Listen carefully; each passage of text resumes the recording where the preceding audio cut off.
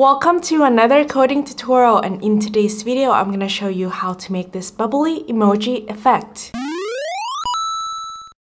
To draw an emoji on the sketch, we're actually going to be using it as a string of text instead of an image. And we can do that quite easily using a text function. And the text function takes in a total of three arguments. The first one is the text that we're going to write. So let's put in text. And then don't forget to put in the quotation mark, then the text, which is the emoji. And the second and the third argument are going to be the x and y coordinate of the bottom left corner of the text or the emoji that we're going to draw. So let's put it, how about in the middle of the canvas? All right. And then now, if we want to change the size of the emoji, we can do that easily using a function called text size. And how about we set it at 30? And that's how we change the size of this emoji. Now that we know how to draw an emoji, how about we put it inside a class first so we can do it based on object-oriented programming. So come to this arrow here, click the plus sign and click create file. I'm going to call this file emoji.js. And before we start writing the class, let's go to index.html and come to this line of code here, copy and paste, change the name here to the name of your new file. And this is how we integrate a new JavaScript file into the program. Let's go back to emoji.js. Let's start with the word class. I'm going to call this class emoji. All right, and then now, inside the constructor function, what do we need? First, we need the x and y location, right? And I'm actually going to set it as a vector, which is an object that can hold two values, x and y coordinate. It can actually hold three, but we're gonna use it to hold two. And I'm gonna call this vector, this dot pose for position. And we can use a method within the vector class called create vector to create this vector object. And then where do we want to create it? We want to create it at x and y location, which we're going to set as a parameter here. And then how about we write a method called display. And display basically is going to be how we display the text, right? So let's copy and paste this. And how about we actually change the 30 here to a variable called this.size. And then now, instead of width divided by 2 and then height divided by 2, we want to put in the x coordinate of the post vector and the y coordinate of the pose vector. And then how about we set the emoji as a variable called t. And I'm going to just copy and paste this. And then we can replace this emoji here with the variable this.t. All right, let's start by just creating one emoji object. Let's go back to sketch.js now, how about we create a variable named emoji? And then inside setup, we want to set this variable to a new emoji object, right? So new emoji and the location that we want to put, how about we just put it at the same location at width divided by 2 and then height divided by 2. And then inside draw, we just want to call the display method. And we just did the exact same thing, right? Because that's exactly what we did, but just move it inside a class. Next, we want to do two things. The first thing is that we want this emoji to be able to move. And the second one is that we want it to disappear over time. Let's start by moving it. I'm going to create another variable called this.vel for velocity, and it is going to also be a vector. And I'm going to set this initial value at 1 comma 1. So I want it to move in the right direction by 1 pixel and down by 1 pixel initially.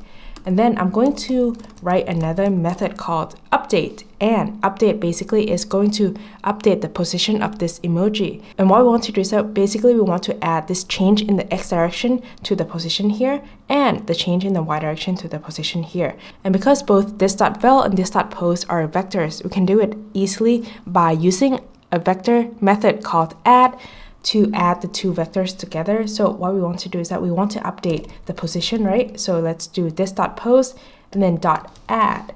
And what do we want to add? We want to add this dot vel vector. All right, and then now let's call this method here. So emoji dot update.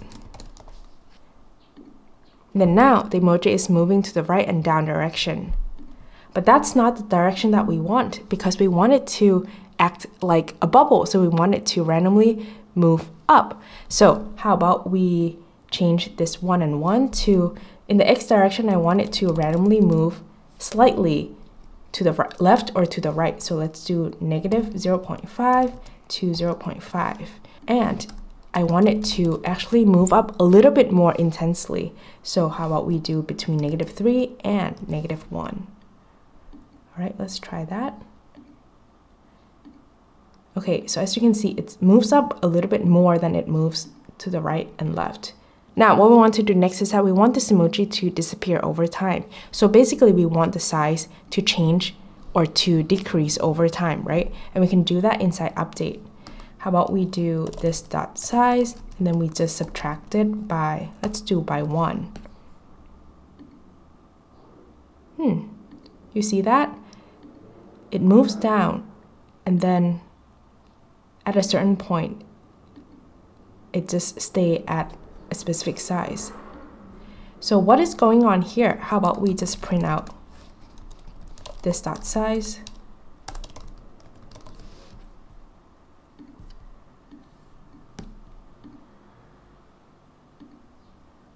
So what's happening, it seems like, is that once the size hits zero, then it goes to a default size of something, right?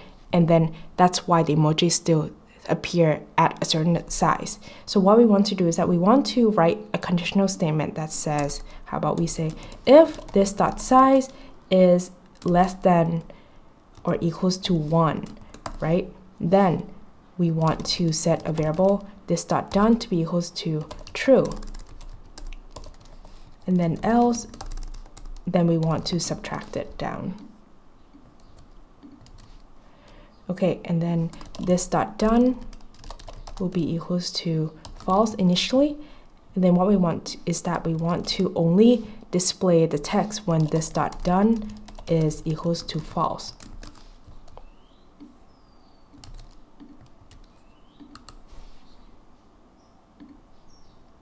All right, and then now the emoji disappears. So if we put this as 0, would it work? All right, it, it doesn't work. So it seems like once the size equals to 0, that's when it goes to the default size. So let's put it at 1. Now let's make it interactive by having it interact with the mouse. So instead of creating a new emoji in the middle of the canvas, what I'm going to do is I'm going to write a conditional statement that says if mouse is pressed.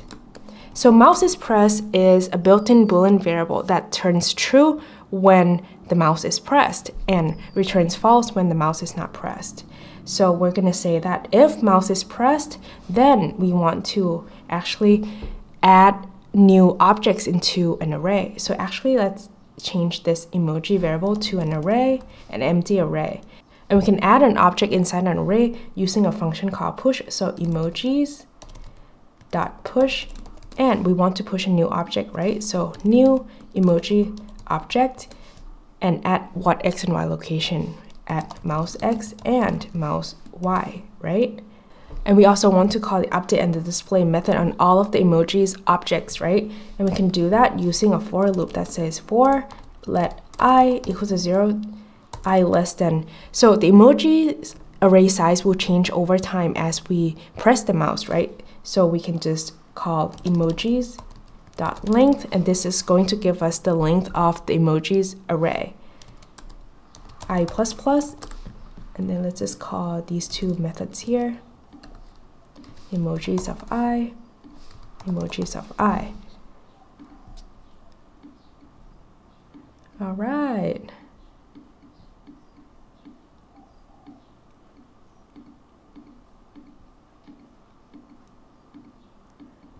All right, so two things that I want to tweak. The first one is that right now the mouse location is at the bottom left corner of the emoji, right? So I want it to be a little bit more centered. So let's go back to emoji.js. How about we draw this at this dot pose minus this dot size divided by 2. Yeah. I can move it up too, but that way it's going to be on the face of the emoji. So I'm actually going to keep it as is. The second one is that I want more variety of the emojis. So how about we set an array called emojis text and it is going to be a variety of emojis here. Then if we go back to emoji.js here, instead of this just one string of emoji, we are going to randomize which emoji we're going to pick inside the emojis text array. And we can do that by just using a random function and then put in the array that we want to pick a random value out of. All right, let's try that. All right. So there's one issue here if we were to run this over time. So if I were to print emojis dot length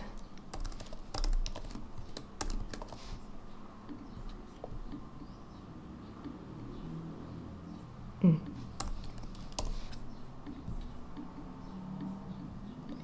You can see that even though the emojis disappear, the length increase, right? Increases over time. And we don't actually want that for efficiency. What we want is that we want to remove the objects that disappear over time, right? So how about instead of just setting this conditional statement here, what we're going to do is that I'm going to delete this conditional statement.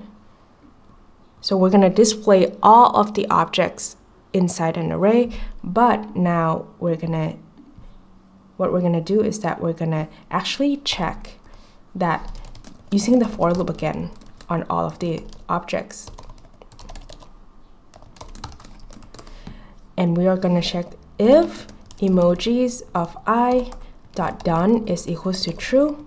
What we're going to do is that we're actually going to remove that object from the array and we can do that using a method called splice. So let's do emojis dot splice and splice can actually take in arguments in multiple ways, but what we're going to do is that we're going to only provide two arguments. The first one is the index of the object that we want to remove. So it's going to be the index of i, right? When i dot done equals to true. And then the second one is we're going to provide one for the number of objects from that index that we want to remove. So if we put one, we're only removing the object of the index i.